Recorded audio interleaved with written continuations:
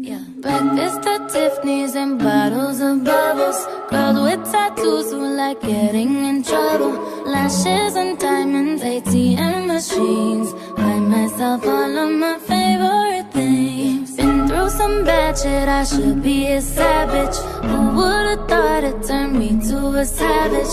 Rather be tied up with calls and no strings. Write my own checks like I write what I sing. Yeah.